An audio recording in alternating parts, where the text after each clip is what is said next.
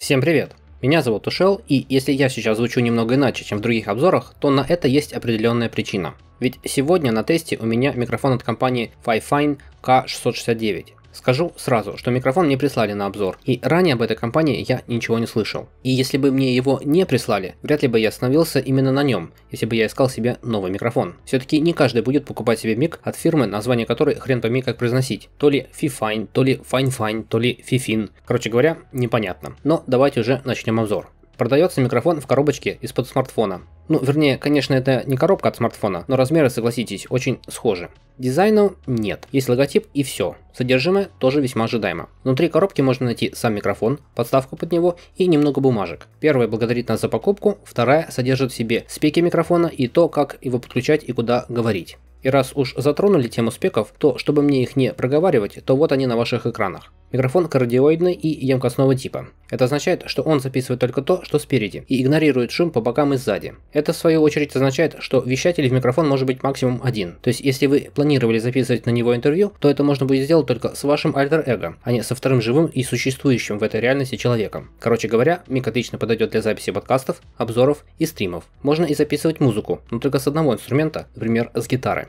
Качество записи, если честно, мне очень понравилось. Сейчас будет фрагмент записи того, как звучит микрофон без какой-либо обработки. Собственно, вот так звучит микрофон без подавления шумов, выравнивания моего голоса и без каких-либо других примочек. Примерно на такое вы можете рассчитывать, если ведете стрим. По-моему, результат отличный. Но давайте вернемся к звуку, где нет на фоне шума от моего системного блока. Раз уж про тип и про запись мы поговорили, самое время взглянуть на сам микрофон. Весь корпус выполнен из алюминия, ну или какого-то другого металла, но мне все же кажется, что это алюминий. Покрашен мик в черный цвет, но есть еще и синяя версия. В сетке нет поп-фильтра, так что, во-первых, можно на свет посмотреть, что внутри, а во-вторых, значит, возможно, стоит инвестировать немного денег в покупку стороннего поп-фильтра. В микрофоне есть единственный орган управления, и если вы умеете читать по-английски, то наверняка поняли, что это регулятор громкости. То есть, если покрутить влево, ваша запись будет тише, если покрутить вправо, вправо, то микрофон вас будет записывать громче. Но также при этом будет ловить всякий шум и есть вероятность ловить помехи. Путем экспериментов я обнаружил, что где-то посередине находится золотая середина, где и меня слышно нормально, и мой системник практически отсутствует на фоне. Никаких других органов управления нет, даже кнопки отключения микрофона нет. Но надо понимать, что он все-таки китайский, и китайцам не очень удобно вас прослушивать, если вы замьютите микрофон. Самое странное в микрофоне это, пожалуй, система крепления. Во-первых, от кронштейна, который тоже металлический, микрофон можно отсоединить, открутив металлическую же шайбу. Резьба этого разъема мне показалась нестандартной, то есть это не 5 восьмых дюйма, а что-то больше. К кронштейну через уже стандартное крепление в 5 восьмых можно прикрутить ножки.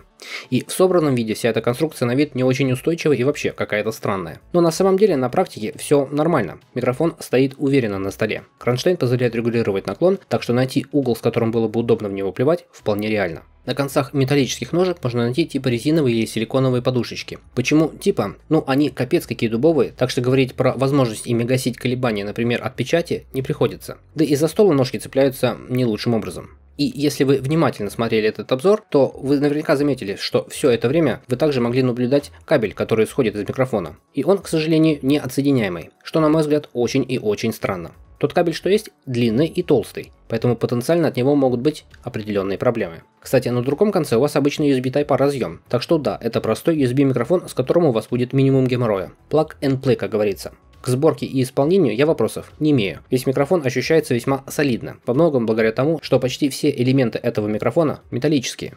И учитывая, что по сути микрофон крайне простой в своем исполнении, мне больше нечего про него рассказать. То, как он записывает речь, вы могли понять на основе этого обзора. Хороший это уровень или не очень, вы можете для себя решить сами. Мне запись понравилась. И как минимум тем, что количество помех и шума по сравнению с моим Samsung Meteor Mic тут гораздо меньше. А это значит, что в редакторе я буду проводить гораздо меньше времени. Также помимо, собственно, записи речи, стоит отметить качество сборки и используемые материалы. Микрофон в руках ощущается весьма качественным девайсом. Что мне понравилось? В первую очередь то, что невозможно отсоединить кабель. И это, по-моему, какой-то бред. Во-вторых, немного смущает внешний вид микрофона на кронштейне. Выглядит все это как-то странно и неустойчиво. Ну и подушечки на ножках, по сути, бесполезные. И это, наверное, все. И как вы поняли из перечисленных минусов, каких-то глобальных проблем я так и не обнаружил. Поэтому остался, пожалуй, последний нераскрытый момент. Это, конечно же, цена. Стоит этот микрофон в среднем 4000 рублей у нас в рознице. В китайских интернет-магазинах цена будет примерно в два раза ниже. Стоит ли записанный звук 4000 рублей?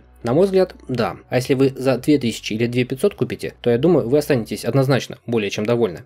И на этой вот нотке я, пожалуй, закончу сегодняшний обзор. Если видео вам понравилось, то с вас коммент, лайк и подписка. Если не понравилось, то сорян, всем невозможно угодить.